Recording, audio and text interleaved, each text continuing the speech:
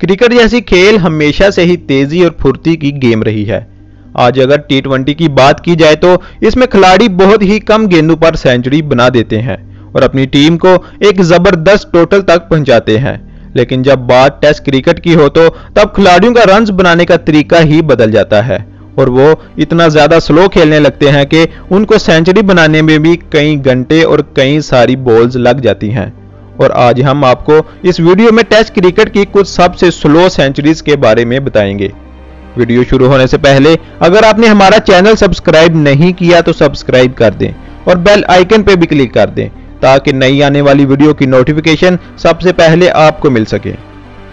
Number ten Nasir Hussain आप सभी England के जाने माने बैट्समैन नासिर हुसैन को तो ज़रूर जानते होंगे, जो कि बहुत ही अच्छी बैटिंग किया करते थे।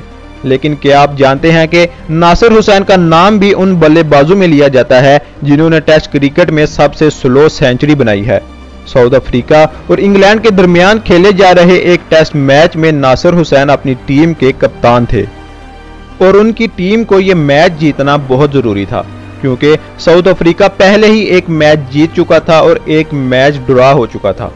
उसी वजह से नासिर हुसैन ने मैच अपने हाथों में लिया। और बैटिंग करते हुए एक सेंचुरी बना डाली। हालाँकि ये सेंचुरी बनाने में उन्होंने 342 बॉल्स खेली थी, जिसकी वजह से ये मैच भी ड्रॉ की तरफ़ चला गया। Number nine, Shivnarine Chanderpaul.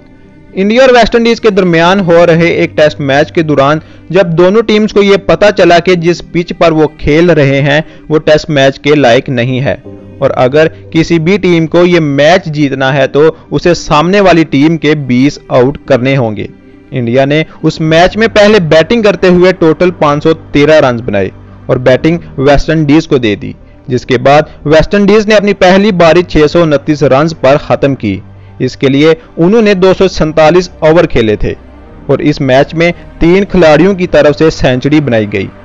Century बनाने वालों में से एक नाम शिव नारायण चंद्रपाल का भी था, जिन्होंने सेंचुरी तो बनाई, लेकिन 336 गेंदों पर, जो कि बहुत ही स्लो थी। जिसकी वजह से मैच ड्रॉ हो गया, क्योंकि चंद्रपाल ने 510 बॉल्स पर 136 रन बनाए थे। Number eight Sanjay Manjrekar. Cricket fans Indian cricketer Sanjay Manjrekar को तो ज़रूर जानते होंगे, जो कि रिटायर्ड होने के बाद अब बहुत शानदार कमेंट्री भी करते हैं। लेकिन क्या आप सभी को मालूम है कि संजय ने जिम्बाब्वे के खिलाफ होने वाले एक टेस्ट मैच में बैटिंग करते हुए एक बहुत ही स्लो सेंचुरी बनाई थी? जो कि तीन सौ सतानवे बॉल्स पर पूरी हुई थी। इस मैच में जिम्बाब्वे ने पहले बैटिंग करते हुए चार सौ छप्पन रन बनाए, जिसका पीछा करते हुए महज 105 रन पर इंडिया के पाँच आउट हो गए, जिसकी वजह से संजय को ऐसी बारी खेलनी पड़ी और मैच ड्रा करवाया। Number seven, Mudassar Nazar. Cricket में बहुत से खिलाड़ियों की तरफ़ से बहुत सी स्लो सेंचुरीज बनाई गई हैं। लेकिन 1977 में इंग्लैंड के खिलाफ हो रहे एक टेस्ट मैच के दौरान पाकिस्तान के खिलाड़ी मुंदसर नज़र की तरफ़ से क्रिकेट की सबसे स्लो सेंचुरी बनाई गई, जो कि 419 बॉल्स पर पूरी हुई थी। आप सबको ये जानकर हैरानगी होगी कि मुदसर पाकिस्तान के ओपनिंग बैट्समैन थे और उन्होंने इस मैच में चार सौ उनचास बॉल्स पर 144 रन बनाए थे, जिसके बाद ये मैच ड्रा हो गया था। क्योंकि उस वक्त एक ओवर में आठ बॉल्स हुआ करती थी। Number six Nathan Astle cricket में सेंचुरीज तो बहुत सारे लोग बनाते हैं, पर सेंचुरी की अहमियत तब होती है जब उस सेंचुरी की वजह से उस प्लेयर की टीम मैच जीत जाए। लेकिन न्यूजीलैंड के खिलाड़ी नथन अस्टल की तरफ़ से एक ऐसी सेंचुरी बनाई गई जिसकी कोई अहमियत नहीं थी, क्योंकि यह सेंचुरी बहुत ही स्लो थी। जिसको बनाने में नथन ने कुल 341 बॉल्स खेली थी। Number five Dom Sibley Dom Sibley England cricket team के एक बहुत ही शानदार खिलाड़ी हैं, जिन्होंने पिछले साल ही, यानी कि 2019 में इंग्लैंड की तरफ़ से खेलना शुरू किया है। लेकिन क्या आप सभी को पता है कि टॉम हाल ही के दिनों में इंग्लैंड के एक ही ऐसे खिलाड़ी हैं, जिन्होंने वेस्ट इंडीज के खिलाफ खेलते हुए टेस्ट मैच में इंग्लैंड की तरफ़ से किसी भी खिलाड़ी की तरफ़ से बनाई गई सेंचुरी में से सबसे स्लो सेंचुरी बनाई है, जिसके लिए उन्होंने 312 बॉल्स खेली और कई घंटे क्रीज पर गुजारे थे। Number four, Tino Mawoyo.